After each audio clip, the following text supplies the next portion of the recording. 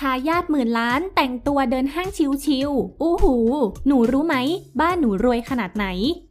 เป็นอีกหนึ่งครอบครัวที่น่ารักและอบอุ่นสุดๆสำหรับครอบครัว ของสาวชมพู่อารยา และสามีไฮโซน็อตวิสรุตมาพร้อมทายาทที่น่ารักอีก 3 คน ทั้งน้องสายฟ้า น้องพายุ และน้องแอบิเกล โดยเราจะได้เห็นโมเมนต์น่ารักน่ารักของพวกเขา อยู่บ่อยครั้งผ่านทางอินสตาแกรมของแม่ชม โดยล่าสุดโลกออนไลน์ แห่แชร์คลิปน้องพายุที่ห้างห้างหนึ่ง กับลุคสุดชิลรองเท้าแตะเสื้อยืด กางเกงขาสั้น น่ารัก น่าเอ็นดูสุดๆ แต่งานนี้พี่พี่แฟนคลับ แห่แซวเรื่องความชิล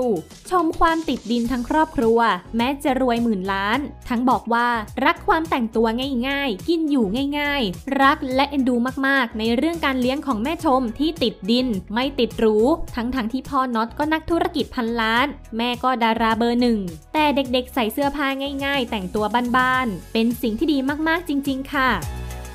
อย่าลืมกดติดตามและกดกระดิ่ง เพื่อจะได้ไม่พลาดคลิปใหม่ ๆ กันด้วยนะคะ ขอบคุณค่ะ